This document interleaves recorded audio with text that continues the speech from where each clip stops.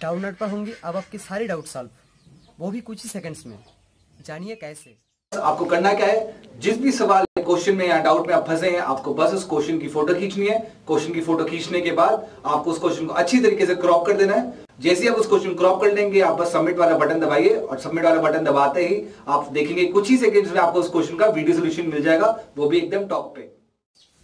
तो बस अब आपने इसी तरह कोई भी सब्जेक्ट का डाउट क्लियर कर सकते हो।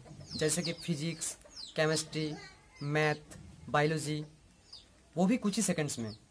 तो याद रहे डाउट हो तो डाउट नट करो।